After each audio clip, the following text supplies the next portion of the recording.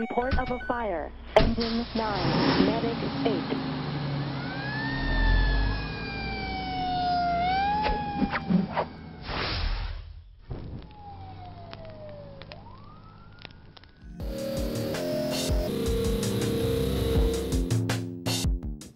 So I'm going to go through them in order for you, highlighting the changes that we've made and uh, hopefully being able to answer any of the questions that might come up with these protocol changes. So we're going to start out with 070001, which is the limited medical uh, treatment plan.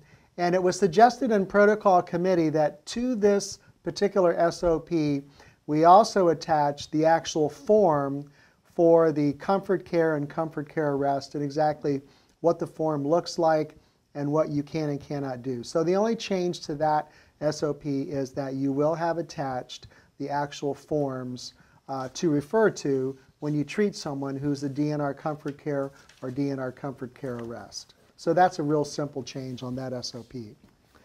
The next one we'll talk about is 070013, which is our general transport policy.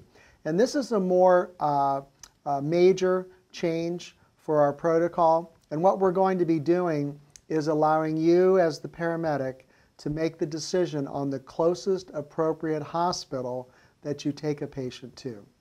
So this is a lot of responsibility on you to make the decision that will benefit the patient the best. And so here's how it's worded. It basically says that uh, if the patient chooses to be transported by the Division of Fire personnel, then CFD personnel will initiate the transport based on the closest appropriate hospital. Now, that's going to leave a lot of leverage in your hands as the paramedic to make that decision. The closest appropriate hospital emergency department means the geographically closest hospital emergency department that can offer the most appropriate care in the patient's best interests. So there's a lot of subjectivity to that that you're going to have to interpret and uh, determine what that facility will be. So attention should be given if a patient has been treated at a certain hospital recently or if their physician of record has a professional relationship with a particular hospital. For example, if that patient had surgery at a hospital recently and has post-operative complications, then EMS personnel should make every effort to transport that patient to their requested hospital if they're medically stable. If the patient is medically stable and wants to be transported to a hospital emergency department that is not the geographically closest one, but their physician of record practices at that facility, then the patient should be transported to the farther location. And finally, the patient's medical condition takes precedence over their destination preference. So, if they're unstable, in the opinion of the transporting EMS personnel, then they should be taken to the closest hospital emergency department that can take care of their immediate medical and or surgical need and then be secondarily transferred to their facility of choice once stabilized. So instead of the patient determining the hospital that they will go to, you as the paramedic will make the determination that is in the patient's best interest. Now here's some transport scenarios that kind of go along with this SOP change to kind of give you an idea in terms of what we're trying to get across with this change. So, Medic 17 runs on a 62-year-old female on Sullivan Avenue who is having abdominal pain for the last two days. She recently had gallbladder surgery at Mount Carmel East, and her surgeon practices there. She wants to go to Mount Carmel East. She is medically stable. Where should they transport her? The answer is to Mount Carmel East, where she had her surgery. Medic 19 runs on a 42 year old male on East North Broadway who's having chest pain. They do a 12 lead EKG and determine that he's having an ST elevation MI or a STEMI. His blood pressure is 80 over 60 and he's having runs of ventricular tachycardia. He says he wants to go to Mount Carmel St. Anne's because he wouldn't take his dog to Riverside. Mount Carmel St. Anne's is 10 minutes farther away than Riverside is. Where do they transport him? The answer is Riverside because that's the closest, most appropriate place for him to go. And his condition is unstable, so he could not uh, warrant uh, the decision to be transported to a farther location in those circumstances. Medic 14 runs on a 28 year old female who's having a headache. She says this is her typical migraine headache and that she normally goes to Grant. The last time, though, they didn't give me the pain meds that I wanted. Grant Hospital is 10 minutes away. She has stable vital signs and does not appear to be in any distress. She wants to go to Dublin Methodist because I've never been there before. Where should they transport her? The correct answer is to Grant because that's the geographically closest place where she can theoretically get the most appropriate treatment. Medic 33 runs on the 20 year old female in her OBGYN doctor's office on Polaris Parkway. She's six months pregnant, and her OBGYN physician has examined her and wants her to be transported down to Grant where he practices so he can do some tests. She's stable and has normal vital signs and is, no, and is in no imminent delivery. Where should they transport her? The answer is to Grant. She's medically stable, her physician of record is at Grant, and her physician wants her to go there. So Grant is the appropriate place for her to go. Finally, Medic 11 runs on a 65 year old male who is in his cardiologist office on Bethel Road. He has just had an EKG done, and the cardiologist is concerned about some subtle changes that he sees. He wants the patient transported down to OSU Main, where he practices, for a cardiac catheterization. While the patient is being loaded onto the medic vehicle, the patient clutches his chest and says that the pain has become much worse. Medic 11 does another 12 lead and now notices a STEMI. Where should they transport the patient? The correct answer is to Riverside, which is geographically closer and is the most appropriate medical facility for this patient to be taken. So, hopefully that gives you the nuance of what we're trying to get across here. We will be monitoring this to see how well we're uh, providing the most appropriate destination for patients, and we'll be seeing if uh, this policy change will result in better care for our patients. All right, moving on. We have a new SOP, which is 070036, which is EMS equipment replacement. In the past, we've had some frustrations with making sure that we get our EMS equipment replaced and properly accounted for. So this SOP actually puts the responsibility for this in the EMS officer's hands. And so what will be done is that the EMS officers will be uh, responsible for taking any kind of broken equipment or for getting lost equipment uh, properly uh, accounted for, uh, the ET68s filled out. And so this is just an administrative type of form that will uh, earmark the EMS officer for the responsible person for making sure that EMS equipment is replaced and accounted for. All right, SOP number 070204 for paroxysmal supraventricular tachycardia. The only change on this is that we've added fentanyl as another drug that can be used for sedation. And that would also go along with uh, SOP 070205, which is ventricular tachycardia. We have added fentanyl as a drug that you can give for sedation along with Versed. 070209, acute pulmonary edema, CHF, we have removed captopril as a treatment option. Uh, we tried captopril for a year and a half, and unfortunately, it did not appear to be providing any benefit for the patient. It was difficult to administer. The patients uh, complained of the powder as far as the crushed pill being in their mouth when their mouth's already dry. Didn't appear to be providing any kind of uh, uh, therapeutic benefit for patients. So we're eliminating that. We are in our protocol committee uh, discussing the use of another ACE inhibitor called enalapril that you can give in an IV form. So that may be a protocol change you'll see in January for 2014. Uh, all right, moving on here. This is another very important change that we've enacted for uh, our protocol, and that would be 070711, and that is cervical spine clearance. Uh, in the past, we have been uh, pretty aggressive in uh, taking any patient who sustained head trauma or neck trauma and actually putting a cervical collar on them and putting them on a backboard.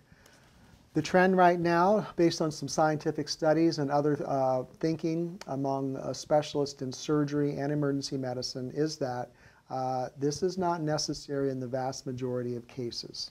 And one of the documents that we've used to um, uh, craft our SOP is a position statement from the National Association of EMS Physicians and the American College of Surgeons uh, Committee on Trauma. And basically, uh, they make the following points. Long backboards are commonly used to attempt to provide rigid spinal immobilization among emergency medical services trauma patients. However, the benefit of long backboards is largely unproven. And this is true. The science has shown that putting people on backboards does not necessarily prevent uh, spinal cord injuries and in fact might actually be harmful for patients. The long backboard can induce pain, patient ag agitation, and respiratory compromise. Further, the backboard can decrease tissue perfusion at pressure points, leading to the development of pressure ulcers. Utilization of backboards for spinal mobilization during transport should be judicious so that the potential benefits outweigh the risks. So the appropriate patients that should be immobilized with a backboard may include the following. Blunt trauma and altered level of consciousness, spinal pain or tenderness, neurologic complaints such as numbness or motor weakness, anatomic deformity of the spine, high energy mechanism of injury in any of the following drug or alcohol intoxication, inability to communicate, or a distracting injury. So, in our protocol change, we've kind of incorporated those caveats. We have eliminated the uh, flow chart uh, that takes you down the different yes no questions and put it all on one page. So we're hoping that it's pretty, uh, pretty uh, easy for you to follow. But uh, patients for whom immobilization on a backboard is not necessary include those with all the following. Normal level of consciousness, that is a Glasgow Coma scale of 15, no spine tenderness or anatomic abnormality, no neurologic findings or complaints, no distracting injury, no intoxication, and patients with penetrating trauma to the head, neck, or torso and no evidence of spinal injury should never be immobilized on a backboard or have a cervical collar placed. So we're going to be a lot more stringent in terms of who we actually put on a backboard and who we put a cervical collar on. And we're hoping that this will eliminate those patients that are really normally uh, walking around after a car accident and uh, we do the takedown on them where we kind of take them down on the board, put the collar on, and uh, we're trying to eliminate those kinds of patients where really this is not going to be beneficial for them. So that's a major change in our protocol. All right, moving on, SOP number 070301. Uh, this is on multiple trauma. This basically relates back to the cervical spine uh, SOP changes. So in uh, B here, we talk about cervical spine injury and control, should be assessed on a case-by-case basis. We refer you back to 070711 for guidance. And the same is true for neurologic trauma, which is 070304, uh, where we refer you back to that uh, uh, SOP for cervical spine control. A couple of other things, though, uh, which I'll refer to in a minute, but we uh, do have a new protocol called medication-assisted endotracheal intubation. And this is something that you can refer back to in the neurologic trauma SOP, and I'll go over that in a minute. And then we've also added Zofran as a drug that you can give for nausea and vomiting in patients that have neurologic trauma. So those are the changes there. Um, facial trauma, the only change we made with this, that's 070305, is that we just say that nasal intubation or King LT placement absolutely contraindicated in unstable mid-face fractures. Ocular trauma, uh, I think we've added Grant, Mount Carmel West, or Ohio State University as um, destination uh, facilities for ocular trauma. The Lucas device, this is uh, again a result of a firefighter um, who suggested uh, or asked the question, why can't we use the Lucas device in a trauma arrest? And I couldn't really answer that, so I went back and did some research and found out that you actually can use the Lucas device in a trauma arrest. And so we've actually taken that out of a contraindication in terms of using it. So you can use the Lucas device in a trauma arrest now. Okay, the new protocol we're referring to, which we haven't even uh, labeled yet uh, or given a number to yet, but it's the medication-assisted endotracheal intubation. And this is a uh, uh endeavor from uh, Tim Gifford uh, and also our EMS fellow, Dr. Eric Cortez. And Tim basically brought the issue up to me in terms of what are the two best drugs to use for assisting in an endotracheal intubation in terms of sedation. And what his research search found and what we did corroborate with him is that uh, those two drugs are Versed and fentanyl. So we've included your medication uh, suggestions for Versed and fentanyl for someone that you would like to use medication on to help to assist you in your endotracheal intubation. With ketamine being kind of a backup drug if your EMS officer is on scene. So this is a brand new um, uh, SOP. I think it's really good in terms of helping us with those difficult intubations and gives you some guidelines as far as what medicines to use, how much of them to use, and when you should use them in those patients who are very difficult to intubate. Okay, we have some uh collection here of uh, SOPs that deal with epinephrine administration. So that would be our anaphylaxis SOP 070212. It would include our um, asthma COPD uh, SOP 070219, and then uh, 070513, which is pediatric anaphylaxis. And the only thing we're trying to make a point of here is that the epinephrine that you give should be IM and not sub-Q. IM epinephrine is much preferred because the absorption is much better, especially if you're not perfusing your periphery well if you're in shock from anaphylaxis. So we are uh, uh, suggesting or mandating that when you give your epinephrine, you give it IM instead of sub-Q. We should not be giving any sub-Q epinephrine because the absorption rates are so much better with an intramuscular administration of epinephrine. And then finally, the last SOP change is uh, for uh, DKA or hypoglycemia. And this was another uh, suggestion from a firefighter, John Schroeder, who said that, you know, if their sugar is 80 uh, or below and they refuse to go to the hospital, you know, what are our options? So we talked about that, about that in protocol committee and we thought that maybe 80 was too high of a number to uh, actually use as a cutoff for de determining whether a patient was able to make a proper judgment. So what we've done here with this protocol change is that we have talked about 60 being the number now, the cutoff. And so if uh, transport's required when blood sugar is below 60 and you've already given glucagon, because glucagon is a very slow acting medication, the patient's taking oral hypoglycemics like metformin or something like that where those drugs are also very slow acting and the patient could become more hypoglycemic over time. The patient is alone and has no caregiver. The patient's disoriented and unable to make reasonable judgments. In those cases, it's always good to get your EMS officer involved to try to persuade the patient to go to the hospital. And uh, they can kind of run interference for you to make sure that uh, the best interest of the patient is met. So, um, so that's the change that we've made with uh, uh that particular um, uh, SOP. And so again, we thank Firefighter Schroeder for bringing this to our attention. All right, now we're going to talk about our protocol for CVA and TIA, uh, cerebrovascular accident or a transient ischemic attack. And this is SOP number 070213. So the first thing is to make sure that the patient has a patent airway and administer 100% uh, oxygen via non-rebreather mask. And if you need to, go ahead and put in some sort of definitive airway as is an endotracheal tube or a uh, King LT. You would want to perform any kind of C-spine immobilization for any patient who meets the criteria and is uh, unconscious with potentially suspected head trauma. So determine, if possible, when the last time the patient was seen as neurologically normal.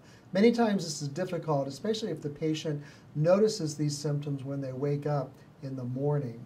But try as best that you can to get an hour definition of when the patient was last seen as neurologically normal and make sure you document that on the chart and relate that to the uh, respective receiving emergency department.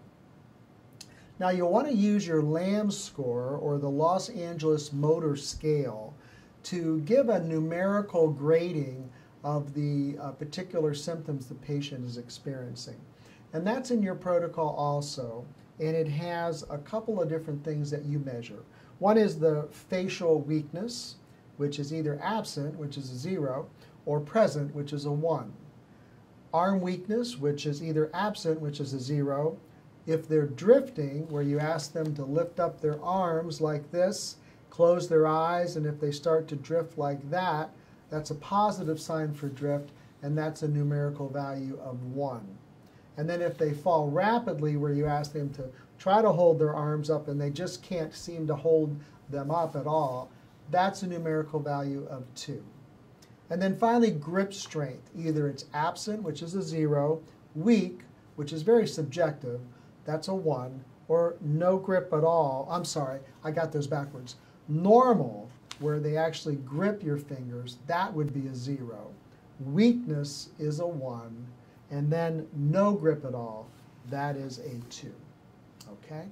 So that's the LAM score. You can go ahead and add those numbers up and give that numerical score to the receiving emergency department. Now, here's the important uh, stuff as far as destination. Patients with signs of stroke and last time seen normal, less than four hours, should be taken to the following emergency departments. and they include Grant Medical Center, Mount Carmel East and West, Mount Carmel St. Anne's, OSU East, OSU Wexner Medical Center, and Riverside Methodist Hospital. These are patients that we do not feel, according to the scientific evidence, that they would benefit from any direct interventional uh, therapies. And so these patients can be taken to these primary accredited stroke centers. Now, if they're last seen normal over four hours, then the thinking may be that they would benefit from an interventional maneuver or uh, technique. And so we ask you to take those patients who were last seen neurologically normal after four hours to the following emergency departments, and they include Mount Carmel East and West Hospital, OSU Wexner Medical Center, and Riverside Methodist Hospital. All these facilities have the uh, capabilities of doing interventional techniques for stroke. You always want to obtain your medical history and the medication the patient is on, especially blood thinners. And uh, you want to go ahead and hyperventilate the patient to achieve an end tidal CO2 reading of about 35. Uh, if their vital signs are deteriorating or you see signs of impending herniation, such as a fixed blown pupil on one side, that would indicate that they're actually herniating, and so hyperventilating would be indicated. But without those signs, you don't want to hyperventilate the patient. You'll want to start an IV if you're able to, and just keep it at a TKO rate and don't administer large amounts of fluid to the stroke patient. Uh, you can use the unaffected arm, in other words, the arm that doesn't appear to be the weak arm or the paralyzed arm on the patient, uh, so to not interfere with the neurologic exams. You'll want to try to obtain a blood sample and perform a glucose analysis because hypoglycemia can actually mimic stroke symptoms. So you'll want to make sure the patient is not hypoglycemic uh, and doesn't need treatment for that. In patients with decreased level of consciousness of unknown etiology, then you'll always want to consider opiate overdose or misuse, and so you'll want to administer Narcan 0.4 milligram to 2 milligram IV. You can also administer Narcan through the mucosal atomizer device or the MAD device. And finally, if you have an ET tube down, you can actually give the Narcan down the ET tube. You do not want to treat hypertension in a patient who has signs of a stroke or a TIA. You do not want to administer aspirin to any patient because of the risk of intracerebral bleeding that may occur in these patients. Now, if they're unconscious and there's no obvious signs of any kind of trauma, you can transport patient, the patient with the head slightly elevated. If conscious, you can transport in a position of comfort. Patients with suspected CVA or TIA should always be transported on a cardiac monitor. A 12 lead EKG should be performed and uploaded into the electronic PCR and consider transmitting that report if you see any signs of abnormalities on the EKG to the receiving emergency department. An extensive radio report to your receiving emergency department will help to facilitate the admission of the patient to their stroke facility and to uh, start the stroke uh, team to be able to respond to the patient. So your radio report should indicate the patient's current level of consciousness, headache or dizziness, existence of facial droop or unilateral weak hand grip, an unstated gait if known, and obviously patient's last known neurologically normal uh, time. And any kind of use in anticoagulants is also uh, a good thing to indicate on your radio report. And I want to encourage you as we end these protocol changes that if you have any kind of uh, you know, uh, concern or question or suggestion as far as protocol changes, we have quarterly protocol committee meetings that anybody is welcome to come to. And if you're interested, I'll put you on the mailing list for those. And you're welcome to come and give your thoughts because a lot of the things that are really good out there for protocol and for patients we don't know about because you're the ones on the front lines and you'll be able to tell us if something's working, something's not working. So you're always uh, welcome to come to those protocol committee meetings. They're in January, April, July, and October, usually the fourth Thursday at 9 a.m. in room 218. And so email me at dkeseg, D-K-E-S-E-G, at columbus.gov, and I'll be happy to put you on the mailing list. But aside from even coming to the protocol committee meetings, if you have something come up with protocol, make sure and email me, give me your concern. I'll either explain to you why we do it, or I'll say, hey, you know, that's a really good idea. Maybe we should do it the way that you're suggesting. And that's been one way that we've actually been able to make our protocol better. So thanks for paying attention to all this. And uh, I hope these protocol changes uh, work to make your job easier and more uh, efficient. And uh, if you have any questions about it, please email me and let me know.